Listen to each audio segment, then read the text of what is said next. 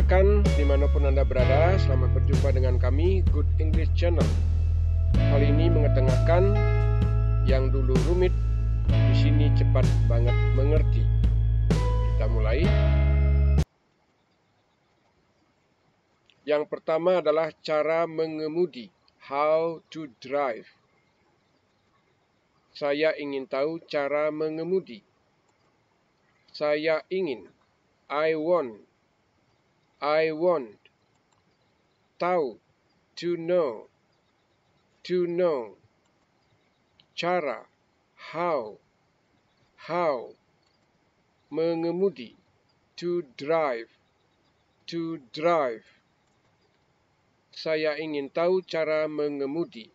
I want to know how to drive.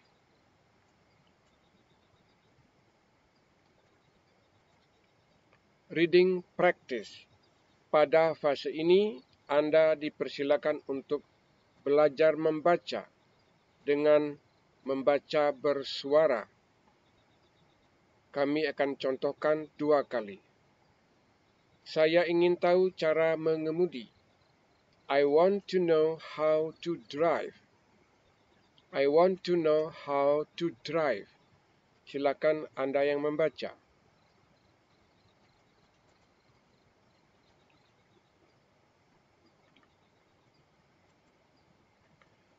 Perhatikan kata kerja want.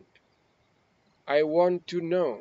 Kata kerja want, bentuk pertama dia diikuti oleh kata kerja know. Sehingga ada to di situ. I want to know. Itu untuk menggunakan dua kata kerja sekaligus. Kata kerja want bentuk pertama, bentuk keduanya wanted, dan bentuk ketiganya wanted. Ini namanya perubahan kata kerja beraturan yang disebut dengan regular verb. Menggunakan kata kerja pertama yang menyatakan suatu aktivitas hari ini atau saat ini juga bisa berulang dalam kalimat simple present tense. Membuat kalimat tanya perlu auxiliary verb seperti do, does, atau did. Disebut kata kerja bantu. Untuk subjek I, gunakan do, we menggunakan do, you menggunakan do, they menggunakan do. Subjek he dan she menggunakan does. Dalam kalimat simple present tense. Sedangkan dalam kalimat past tense, Anda menggunakan did untuk semua subjek. Sekarang membuat kalimat tanya dari kalimat ini. I want to know how to drive. Kata kerjanya adalah want. Bentuk pertama, sehingga dalam kalimat simple present tense. Lalu sesuaikanlah kata kerja bantunya dengan subjeknya. Kalau I menggunakan do. Kita lihat sekarang. Do you want to know how to drive? Ternyata terjadi perubahan subjek dari I menjadi you. Karena dalam pertanyaan tentu menanya orang lain, bukan menanya diri sendiri. Sehingga diri sendiri I menanyakan kepada orang lain menjadi you. Itu perubahan yang juga harus diingat. Kalau menjawab ketika membilang ya, pertanyaan seperti ini cenderung dijawab dengan jawaban singkat. Do you want to know how to drive? Yes, I do. Sekarang lihat kembali bahwa subjeknya adalah I.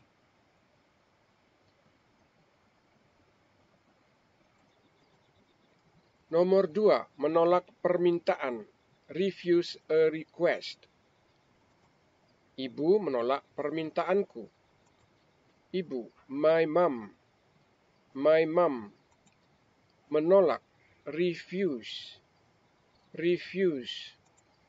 Permintaanku my request. my request. Ibu menolak permintaanku. My mom refused my request.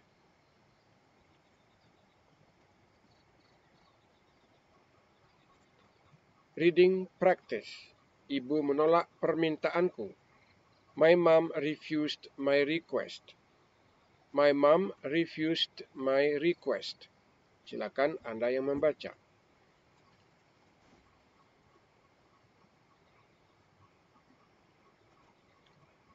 Perhatikan kata kerja refused yang artinya menolak. Ini adalah kata kerja bentuk kedua dari perubahannya. Yang pertama refuse, yang kedua refused, yang ketiga refused. Ini juga perubahan kata kerja beraturan atau regular verb.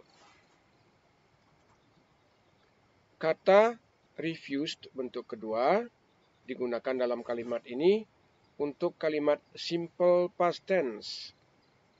Kalimat yang menyatakan suatu peristiwa atau aktivitas yang terjadi di saat yang telah lampau, telah lewat, dan telah selesai.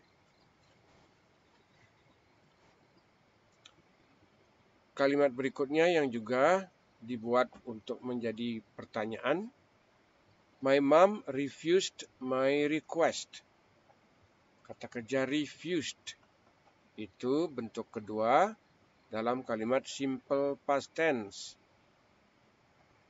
Tadi sudah diingatkan di depan bahwa kalau terdapat kalimat past tense dengan ciri kata kerja bentuk kedua, maka kata kerja bantunya adalah did untuk semua subjek.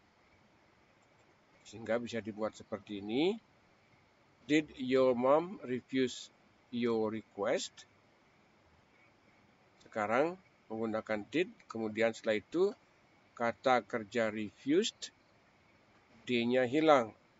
Kembali menjadi bentuk pertama, refuse. Ada perubahan pada kata my menjadi your. My mom, ibuku, menjadi ibumu. Kemudian my request permintaanku menjadi your request. Permintaanmu. Setelah itu kita lihat your mom artinya ibumu. Sekarang untuk membuat jawaban yes she did. She itu adalah kata ganti orang untuk orang perempuan yang tunggal. Your mom, ibumu. Ketika disebutkan lagi, digunakan kata ganti she, artinya dia. Nomor tiga, telah memberi. Have given. Have given. Orang itu telah memberi Brian pekerjaan baik. Orang itu, the man. The man telah memberi, has given has given pekerjaan job job baik good good. Orang itu telah memberi Brian pekerjaan baik. The man has given Brian a good job.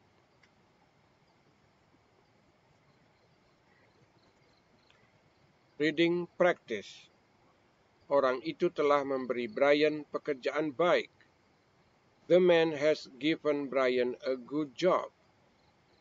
The man has given Brian a good job. Silakan dibaca.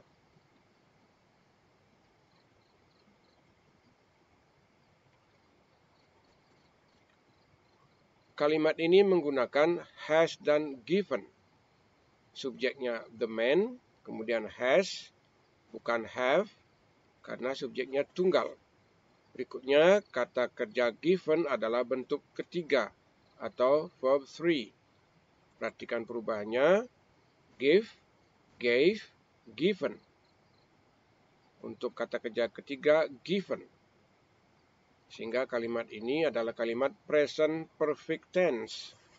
Menyatakan suatu peristiwa atau aktivitas terjadi di saat yang telah lalu dan masih ada hubungan dengan saat berbicara atau saat sekarang. Misalnya dalam kalimat ini, orang itu telah memberikan Brian pekerjaan, berarti dulu diberikan pekerjaan sampai sekarang masih Brian memiliki pekerjaan itu. Itu maksudnya ada hubungan dengan saat sekarang. The man has given Brian a good job. Jika kalimat ini dijadikan kalimat tanya, ini tidak lagi memerlukan auxiliary verb. Tidak perlu kata kerja bantu, karena kalimat ini telah memiliki kata kerja bantu, yaitu has. Sehingga kalimat tanyanya akan menjadi, Has the man given Brian a good job? Seperti itu jadinya. Cukup memindahkan has ke depan. Karena dia adalah berfungsi sebagai kata kerja bantu. Tidak perlu nambahkan kata kerja bantu yang lain. Dalam jawaban juga menggunakan kata ganti orang. The man, seorang laki-laki, kata gantinya adalah he, dia seorang laki-laki. Has the man given Brian a good job? Yes, he has. Ingat, he berasal dari the man. Ketika disebutkan lagi, gunakanlah kata ganti orang, yaitu he, untuk seorang laki-laki. Kalimat ini adalah berbentuk present perfect tense. Sudah memiliki kata kerja bantu has yang diikuti oleh kata kerja ketiga yaitu given. Nomor empat, hari yang sibuk. A busy day. A busy day. Kemarin hari yang sibuk buatku. Kemarin, yesterday. Yesterday. Hari. Day. Day. Sibuk. Busy busy buatku for me for me kemarin hari yang sibuk buatku. Yesterday was a busy day for me.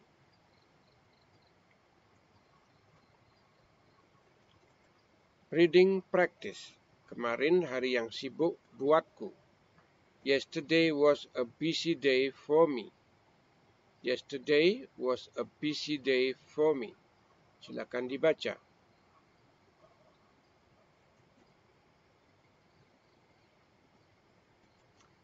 Kalimat ini menggunakan was, yaitu be bentuk kedua. Dalam bentuk lampau atau past, lihatlah perubahannya, yaitu subjek, yesterday, kemudian to be kedua adalah was, a busy day for me adalah objek. Kalimat yang menggunakan was perubahannya dari is bentuk pertama, was bentuk kedua, dan bin bentuk ketiga.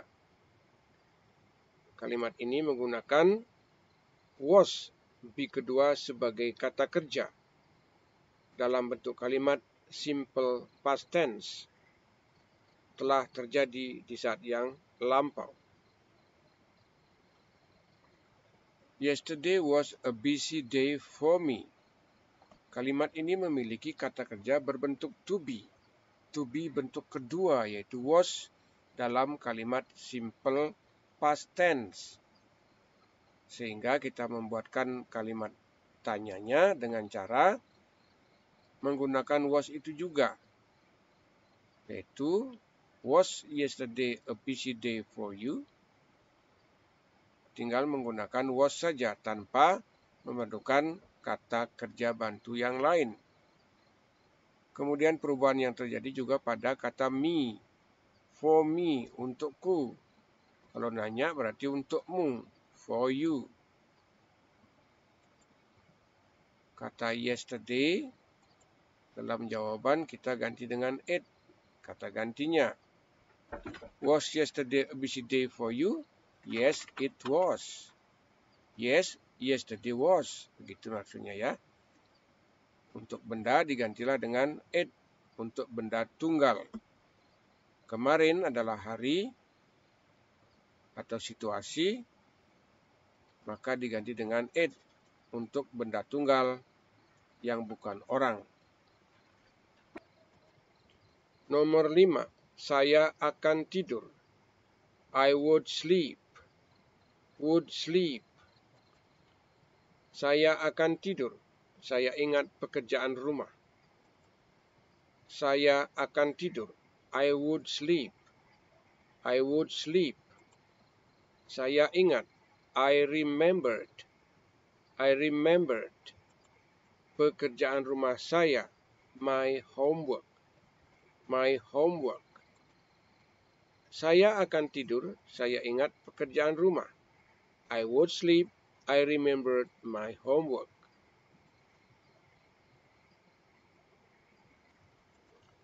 Reading practice. Saya akan tidur. Saya ingat pekerjaan rumah. I would sleep. I remembered my homework. I would sleep. I remembered my homework. Silakan dibaca.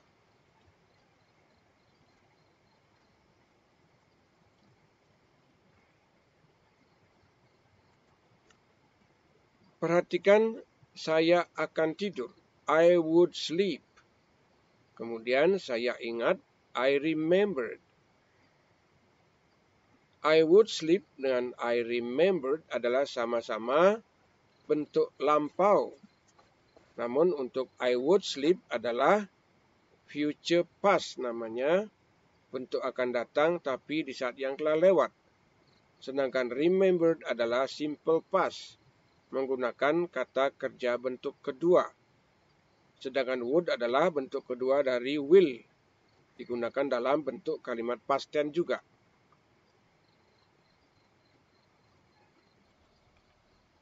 Nomor enam, Bisa beristirahat. Could take a rest. Could take a rest. Saya bisa beristirahat di tempat tidur. Saya bisa. I could. I could beristirahat. Take a rest. Take a rest. Di tempat tidur. In my bed. In my bed. Saya bisa beristirahat di tempat tidur. I could take a rest in my bed. Reading practice. Saya bisa beristirahat di tempat tidur. I could take a rest in my bed. I could take a rest in my bed. Silakan dibaca.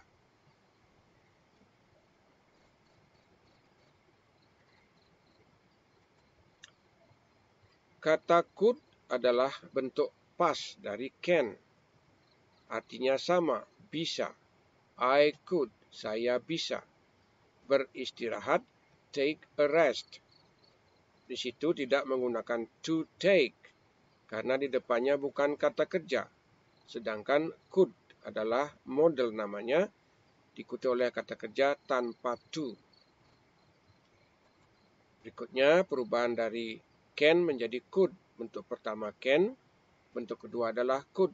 Digunakan dalam kalimat past tense, waktu yang telah lalu. I could take a rest in my bed. Kata could adalah model bentuk kedua dalam kalimat past tense. Could juga termasuk kata kerja bantu yang bernama model sehingga tidak perlu lagi menggunakan kata kerja bantu yang lain. Tinggal menggunakannya yaitu Could you take a rest in your bed? Ini terjadi perubahan kata my bed menjadi your bed. Dalam pertanyaan tentu menggunakan your, milikmu. Ini perubahan yang terjadi. I menjadi you, my menjadi your. Could you take a rest in your bed? Jadi I, saya menjadi kamu, milik saya menjadi milikmu. Kemudian ketika menjawab, Could you? Berarti subjeknya you. Dalam jawaban gunakanlah I. Karena jawaban adalah dijawab oleh lawan bicara Anda. yaitu you yang bicara. Menyebut dirinya dengan I atau saya. Yes, I could yang artinya bisa. Namun dalam waktu yang telah lewat. Dalam kalimat past tense. Nomor tujuh akan dimulai. Will be begun. Will be begun. Pelajaran akan dimulai pukul tujuh pagi. Pelajaran the class the class akan will will dimulai be begun be begun pukul tujuh pagi at 7 a.m at 7 a.m. Pelajaran akan dimulai pukul 7 pagi. The class will be begun at 7 a.m. Reading practice. Pelajaran akan dimulai pukul 7 pagi. The class will be begun at 7 a.m. The class will be begun at 7 a.m. Silakan dibaca.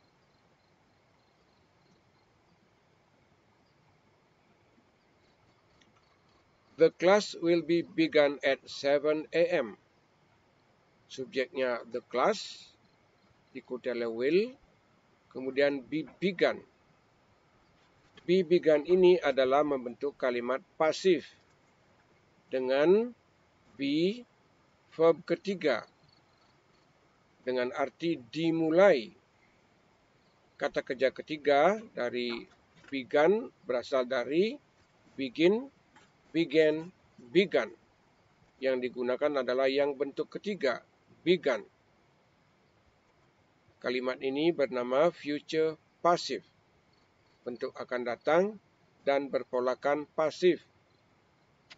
Bentuk akan datangnya dengan will, kemudian pasifnya adalah pada be diikuti oleh verb ketiga.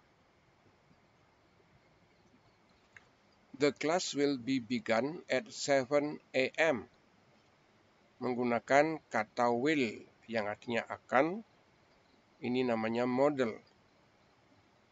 Kemudian kita lihat untuk membuat kalimat tanya. Will the class be begun at 7 a.m.? Tidak perlu kata kerja bantu lain lagi. Karena will juga bisa digunakan untuk membuat kalimat tanya karena dia berfungsi sebagai kata kerja bantu. Kemudian jawabannya adalah yes, it will. Untuk subjek it itu berasal dari the class yang merupakan benda tunggal ketika dalam menjawab menggunakan kata ganti untuk benda tunggal adalah it. Yes, it will.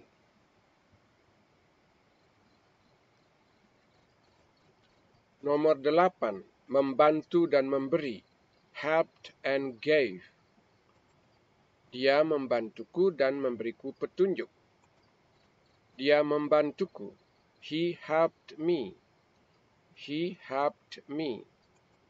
Dan and and memberiku. Gave me. Gave me. Petunjuk. Direction direction. Dia membantuku dan memberiku petunjuk. He helped me and gave me some directions. Reading practice. Dia membantuku dan memberiku petunjuk. He helped me and gave me some directions. He helped me and gave me some directions. Silakan dibaca.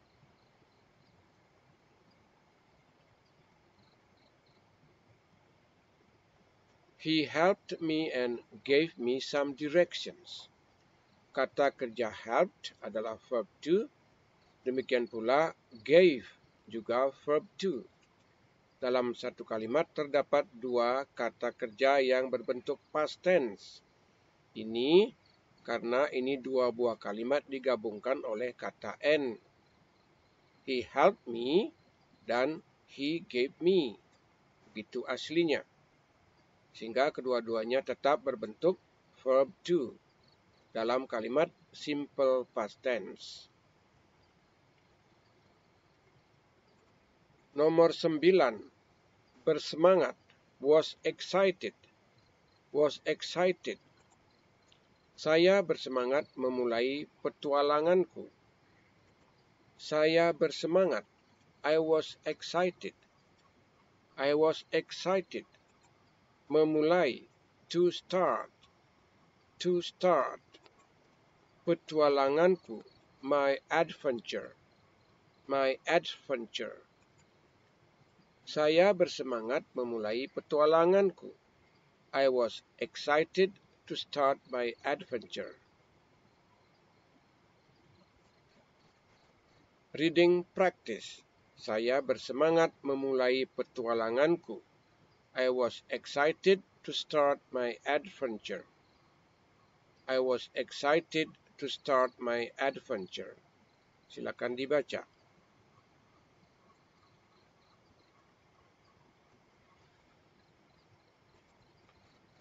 I was excited adalah satu bagian dari kalimat ini menggunakan was, yaitu verb to atau to be to dalam bentuk past tense.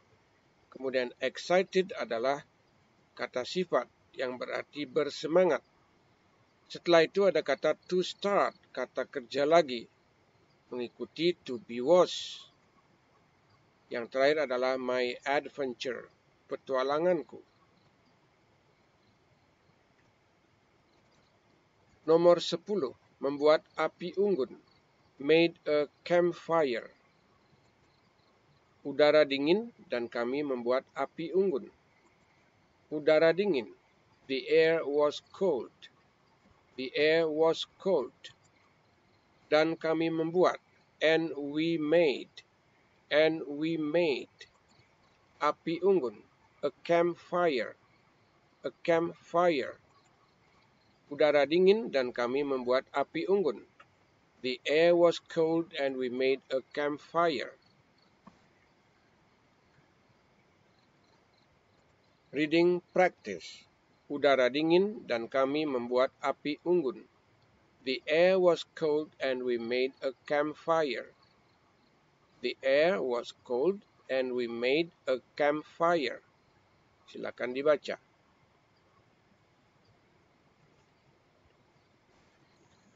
Perhatikan kalimat ini. The air was cold. Menggunakan to be was, bentuk kedua. Kemudian, and we made a campfire. Kata kerja made, juga bentuk kedua. Dapat kita lihat, was be kedua, made verb kedua. Juga terjadi seperti ini karena kalimat ini digabungkan dengan kata and The air was cold dan we made a campfire. Jadi dua ada bagian kata kerja yang bentuk kedua dalam kalimat simple past tense. Rekan-rekan semua, demikian tadi telah Anda ikuti pembelajaran juga khususnya membuat kalimat tanya untuk beberapa jenis tenses. Simple present tense, simple past tense yang menggunakan kata kerja dan menggunakan to be. Kemudian untuk simple future tense dan juga present perfect tense. Mudah-mudahan dengan demikian Anda lebih jelas lagi bagaimana cara menggunakan kalimat positif, kalimat tanya Oke rekan-rekan semua, terima kasih atas perhatiannya. Kepada rekan-rekan yang sudah subscribe, terima kasih banyak. Kemudian rekan-rekan yang juga rajin nonton video, sangat baik Anda tidak skip iklan atau tidak melewati iklan. Itu penting banget untuk kemajuan channel ini. Juga rekan-rekan yang telah membagi-bagikan video-video yang ada di channel ini kepada orang lain, teman-teman, saudara-saudara, itu juga sangat membantu perkembangan channel ini. Rekan-rekan yang rajin nulis komentar silakan dilanjutkan. Bertanya jawab di situ akan kami jawab semua pertanyaan Anda. Apabila kami tidak menjawab, berarti komentar Anda tidak bisa kami baca, dalam artian tidak bisa dibalas, walaupun sudah bisa dibaca. Kami tidak bisa menulis jawaban di situ karena tidak lagi bisa dibuka. Itu komentar Anda. Kalau ternyata belum terbalas, silakan menulis komentar yang lain lagi dengan harapan kami bisa membalasnya. Demikian rekan-rekan semua. Mudah-mudahan banyak manfaat yang Anda bisa temukan di sini dan tentu pembelajarannya yang menyebabkan bahasa Inggris Anda terus meningkat. Oke, sampai di sini perjumpaan kita kali ini. Sampai jumpa pada video-video berikutnya.